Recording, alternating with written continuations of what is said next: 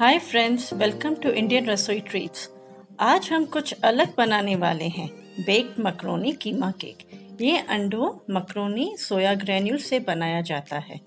बिल्कुल बेक्ड और झटपट बनने वाला यह स्नैक बहुत ही स्वादिष्ट और न्यूट्रिएंट्स से भरपूर होता है। मैं इसे ज़्यादातर मटन के कीमे से बनाती हूँ, मटन मिन्स कीमा से। पर लॉकडाउन के कारण आज मैं इसे सोया ग्रेन्यूल से बना रही हूँ। चलिए शुरू करते हैं।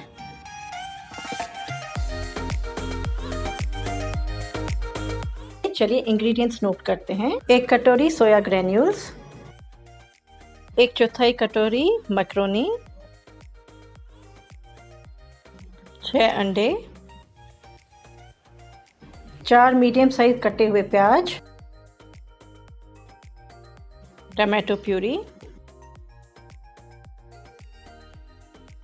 अदरक, लहसुन, हरी मिर्च और धनिया। Half teaspoon शाहजीरा one teaspoon garam masala.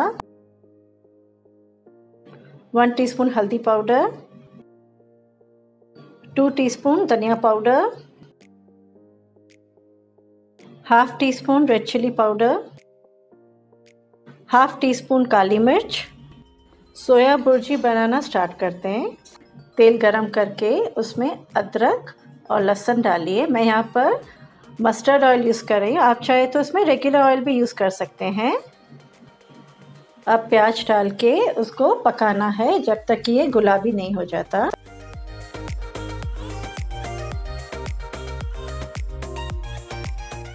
प्याज अब ब्राउन हो चुका है। अब इसमें हम सोया ग्रैन्यूल्स डालेंगे। जो मैंने आधा घंटा गर्म दूध में भिगो के रखा था, हल्दी ऐड कीजिए, हरी मिर्ची ऐड कीजिए। अब इसको अच्छे से हमें भूनना है।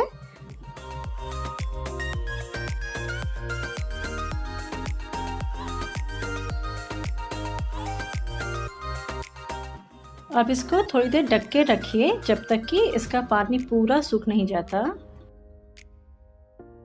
दस मिनट में वो पानी सूख जाता है। अब इसको फिर से खोल के हमें फिर से अच्छे से घुमाना है।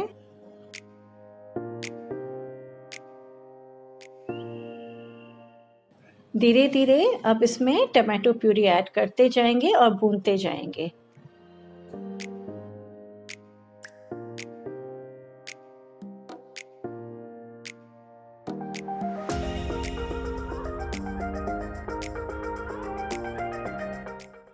अब इसमें नमक ऐड करेंगे और कीमे को अच्छा भूनना है। अच्छा भूनेंगे तभी उसका टेस्ट परफेक्ट बैठेगा।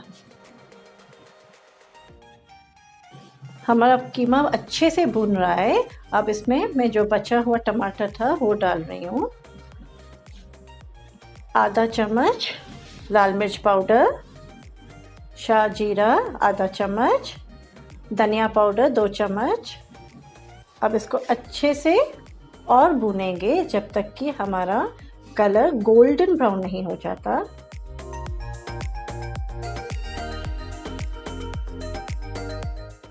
इसमें आधा चम्मच काली मिर्च पाउडर ऐड की, गरम मसाला ऐड कर दिया।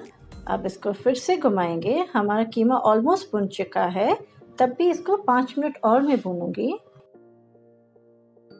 और इसको ठंडा करने के लिए गैस बंद करके रख दूँगी। ये पूरा कीमा हमें लो फ्लेम पर ही भूनना है।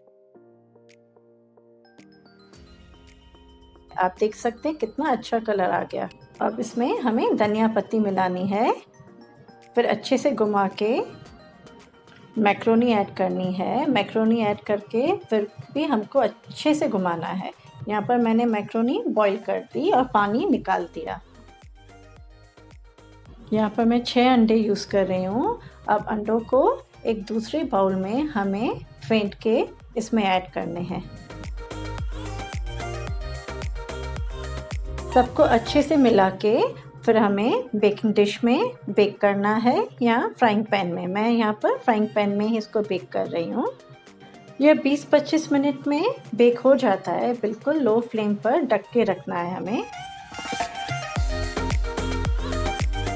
हमारा बेक्ड सोया मकरोनी केक तैयार है।